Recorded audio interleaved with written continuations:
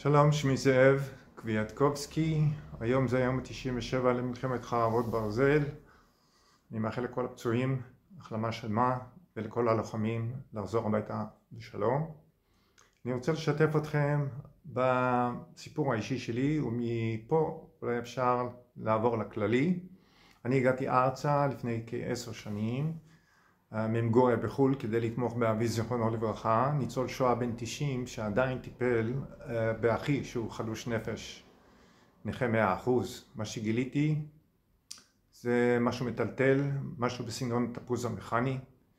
השכנים שהתעללו באבי, צעקו לו מתי תמות כבר, פלשו לשטח הפרטי שלו, לא אפשרו לו פשוט לחיות את החיים.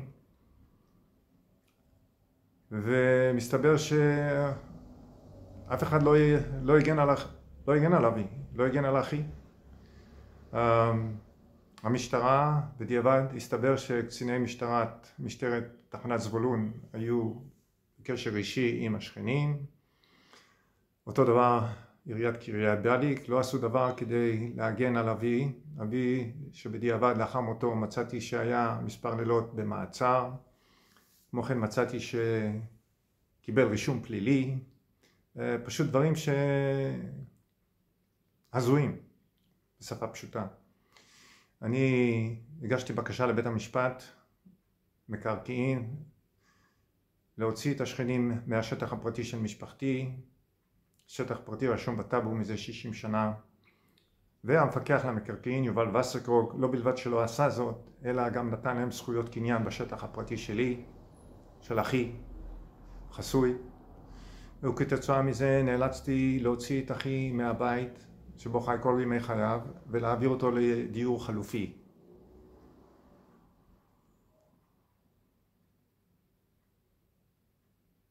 הקניין הפרטי זה זכות יסוד, מעוגנת בחוק, סעיף 2, 3 ו-4 לחוק היסוד. וכמובן שלמפקח מקרקעין או כל אחד אחר אין זכות לעשות זאת, עבירה לחוק, זה שימוש לרעה בכוח השררה. במקרה הזה פה זה גם עושק קשיש. כל, אה, כל המלחמות שלי עם מערכת המשפט כדי לשנות פסק דין זה לא עזרו. נוסף לזה, שופטת בית המשפט לענייני משפחה אסתר ז'יטינסקי רקובר נתנה את זכות האפוטרופסות על אחי לקרן החסויים.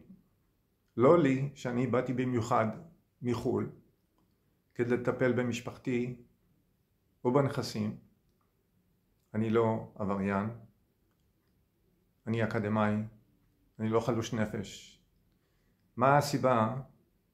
ואין סיבה בעולם לתת את אחי יחידי, אנחנו משפחה של ניצולי שואה, שירי בשר יחידים, לקרן החסויים. לא בלבד שעשתה זאת, אלא גם העבירה את הנכסים של המשפחה לקרן החסויים.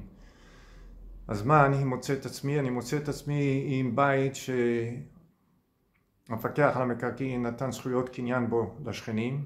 אני מוצא את אחי ששופטת, אסתר ז'יטינסקי רקובר נתנה את הזכויות באחי לקרן החסויים ואת נכסי המשפחה לקרן החסויים דברים הזויים, הזויים לחלוטין.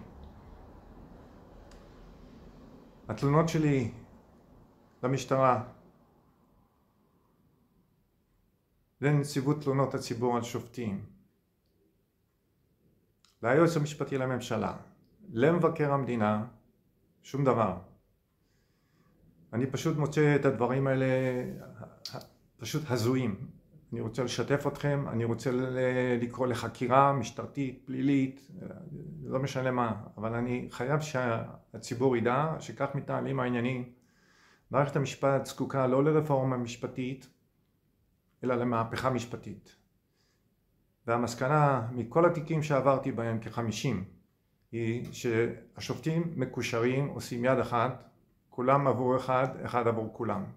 דבר זה חייב לבוא לידי חקירה ואני מאיץ בכם, אני מבקש מכם, כולכם, לעשות מה שניתן לעשות כדי להביא את השופטים ואת מערכת המשפט לפיקוח.